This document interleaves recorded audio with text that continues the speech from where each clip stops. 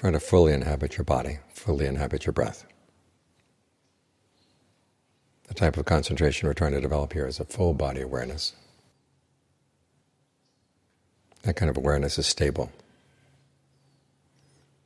If your concentration is one-pointed, as soon as you change the point, the concentration is spoiled. But if you've got the whole body as your object, then thoughts can come in and go out, but they don't have to disturb the foundations. It's like a person walking in and out of a building. The fact that the person is in the building doesn't destroy the building, doesn't shake its foundations.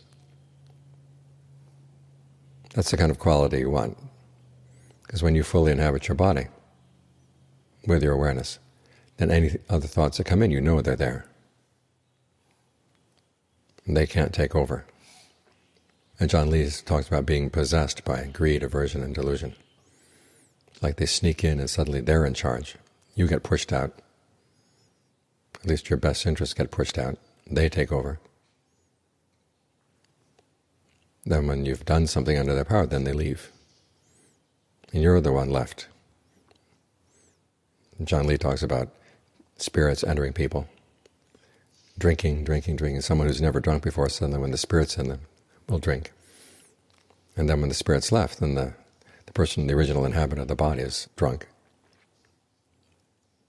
suffers the hangover. So you want to fully inhabit your body so that when greed comes, you know it's there, and you don't let it take over. When anger comes, you know it's there. And when you're fully aware, then even when delusion begins to sneak in, you begin to recognize it.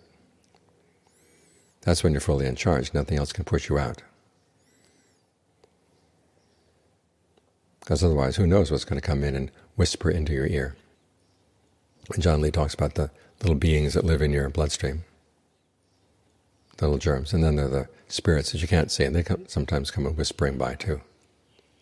You want to be solid and not easily shaken in the face of these things. Any thought that comes into the mind, you have to ask yourself, is this really in my best interest? If it's not, then say, well, it's maybe somebody else's thought. You don't have to carry it around with you. You don't have to act on it. That way you don't become their zombie. You know those animals, like the spiders that lay their eggs in the brain of another animal. And the other animal's still alive, but it starts acting in strange ways, to the advantage of the spider eggs, and not to its own advantage.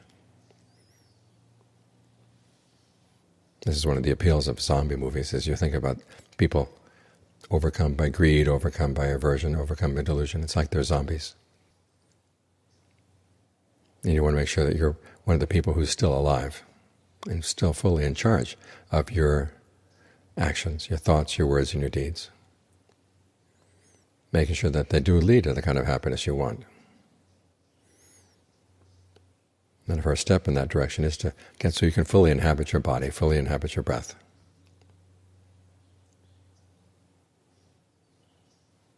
If you're going to be possessed, be possessed by discernment.